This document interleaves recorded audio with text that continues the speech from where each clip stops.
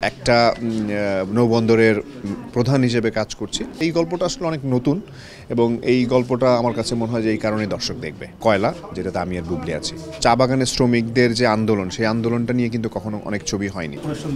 যেটা বাংলাদেশের এক ধরনের দলিল বলা হয় সেখানে একটা গুরুত্বপূর্ণ চরিত্র অভিনয় করেছেন বা করছেন একটু জানতে চাই। অপারেশন জ্যাকপট, এটা মুক্তিযুদ্ধ মন্ত্রণালয়ের একটি ছবি এবং অনেক বিগ বাজেটের একটা ছবি হচ্ছে, যেটা ডিরেকশন দিচ্ছে রাজীব বিশ্বাস এবং দেবরাজান ঝন্টু যৌথ প্রযোজনার এবং অন্তঃসবিজের মানে সেটা ক্যারেক্টার সম্পর্কে বলব যে বাংলাদেশে যে পনেরোই অগাস্ট দিবাগত রাতে মানে ষোলো, ষোলোই অগাস্ট উনিশশো একাত্তর সালে যে ঘটনাটা ঘটেছিল যে সাবমেরিনগুলো, দেশের চারটা নৌবন্দর এবং যে নৌবন্দরগুলো ছিল সেখান থেকে যে যুদ্ধটা হয়েছিল সেটারই গল্প এবং সেই একটা নৌবন্দরের প্রধান হিসেবে কাজ করছি এবং আউটস্ট্যান্ডিং আমার কাছে মনে হয় যে বিগ বাজেটের কাজ করতে গেলে কাজের ইয়েটাও ভালো লাগে। স্টাইলটাও ভালো লাগে, পরিধিটা ভালো লাগে। আমার কাছে মনে হয় যে এটা নতুন কিছু পাবে দর্শক যখন দেখবে।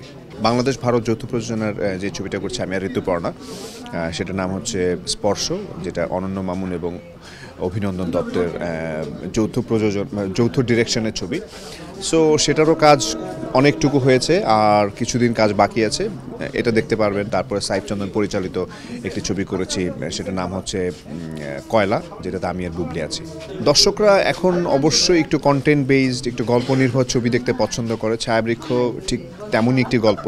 এবং নতুন গেট আপ নতুন লুক নতুন কনসেপ্ট নিয়ে কাজ করা হয়েছে যে আসলে চা বাগানের শ্রমিকদের যে আন্দোলন, সেই আন্দোলনটা নিয়ে কিন্তু কখনো অনেক ছবি হয়নি। বাট সেটার মধ্যে একটা প্রেম, ভালোবাসা, তারপরে একটা প্রতিশোধ, একটা একটা বিদ্রোহী একটা ব্যাপার যে চা বাগানের শ্রমিকরা তাদের বেতন মানে সাপ্তাহিক যে পারিশ্রমিকটা ঠিকঠাক মতো পাচ্ছে না। এই, এটা নিয়েই তো গল্প। এই গল্পটা আসলে অনেক নতুন এবং এই গল্পটা আমার কাছে মনে হয় যে এই কারণে দর্শক দেখবে। চা বাগানের শ্রমিকদের ওখানে তো অনেকদিন থাকা হয়েছে প্রায় মাসখানেক বাট এই ভর্তা খাওয়াটা হয় নাই বাট আমরা যেটা খেয়েছি চা, যেটা হচ্ছে লবণ দিয়ে চা খায়।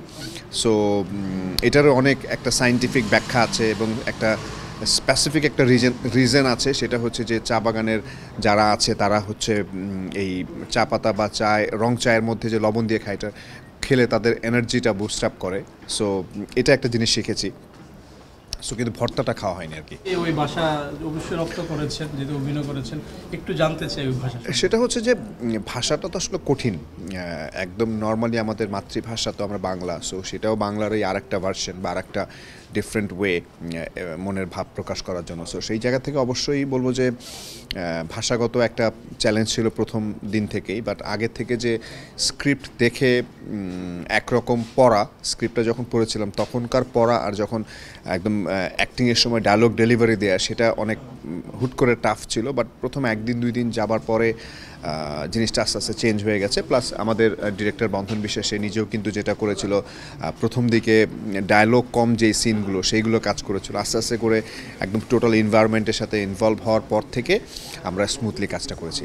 বন্ধনের সাথে কাজ এবং সাথে সাথে অনেক দিনের একটা আউটডোরে গিয়ে শুটিং করার এক্সপিরিয়েন্স সব কিছু মিলে বলব যে অবশ্যই এটা অনেক ভালো লাগা কাজ করছে এবং যেহেতু ষোলোই ফেব্রুয়ারি রিলিজ হতে যাচ্ছে সো একটা ছবি যখন প্রথম দিন থেকে শুরু করে আজ অবধি বা ছবি রিলিজের দিন থেকে দিন পর্যন্ত যে পরিমাণ টেনশনটা থাকে টেনশনটা রিলিফ হয়ে যায় কিন্তু যেদিন ছবিটা রিলিজ হয়। তারপর থেকে আবার নতুন একটা টেনশন শুরু হয়।